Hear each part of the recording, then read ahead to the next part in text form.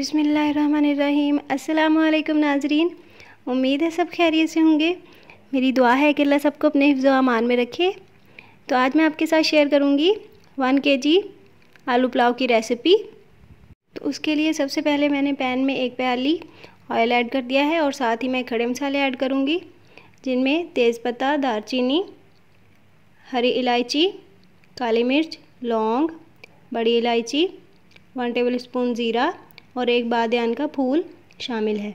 तो इन मसालों को हम लो फ्लेम पर सिर्फ़ एक मिनट के लिए फ्राई करेंगे और उसके बाद हम इसमें ऐड करेंगे बारीक कटे हुए प्याज।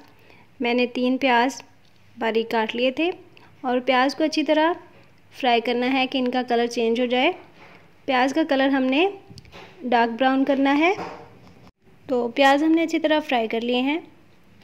अब हम इसमें ऐड करेंगे one and half tablespoon लहसुन अदरक का पेस्ट। इसको तीन से चार मिनट के लिए फ्राई करेंगे। और फ्राई करने के बाद हम इसमें ऐड करेंगे दो बारीक कटे हुए टमाटर, वन टेबल स्पून धनिया पाउडर, वन टेबल स्पून ज़ीरा powder, half tablespoon red chilli powder, half tablespoon black pepper one tablespoon garam masala, half tablespoon chaat masala और इन सारे मसालों को ऐड करने के बाद अच्छी तरह मिक्स करेंगे और उसके बाद हम इनमें ऐड करेंगे आलू। मैंने 500 ग्राम आलू लिए थे और उनको क्यूब्स में काट लिया है। तो आलू ऐड करने के बाद इनको चार से पाँच मिनट के लिए फ्राई कर लेंगे और साथ ही हम ऐड करेंगे हरी मिर्चें।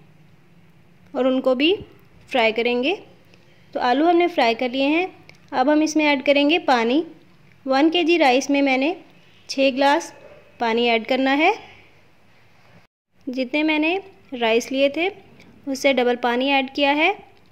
अगर आप एक गिलास राइस से पुलाव बनाएँ तो आपको दो गिलास पानी ऐड करना पड़ेगा। तो राइस जो हैं वो मैंने बासमती लिए थे। पानी ऐड करने के बाद मैंने one and half tablespoon salt add किया है। उसको अच्छी तरह मिक्स करेंगे।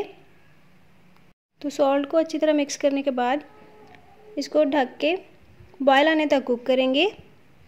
पानी को बॉयल आना शुरू हो गया है। अब हम इसमें ऐड करेंगे वन के जी राइस जिनको मैंने अच्छी तरह वॉश कर लिया था और तकरीबन पैंतालीस मिनट के लिए भिगो दिया था। ये रेसिपी बासमती राइस के लिए है। तो राइस ऐड करने के बाद इनमें चम्मच चलाएँगे। ये आलू पुलाव बहुत ही मज़ेदार और चटपटा बनता है। तो अब हम इनको ढक के तकरीबन पंद्रह मिनट के लिए लो फ्लेम पर कुक करेंगे। तो इसी दौरान राइस जो हैं वो सॉफ्ट हो जाएँगे। तो मज़ेदार सा आलू पुलाव हमारा रेडी है। मुझे उम्मीद है आपको रेसिपी पसंद आई होगी। तो ज़रूर ट्राई कीजिएगा और कमेंट सेक्शन में बताइएगा कि कैसी बनी।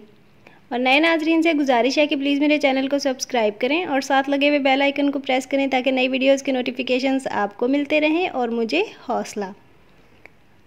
मुलाकात होगी अगली वीडियो में नई टिप्स और ट्रिक्स के साथ। तब तक के लिए अल्लाह हाफिज़।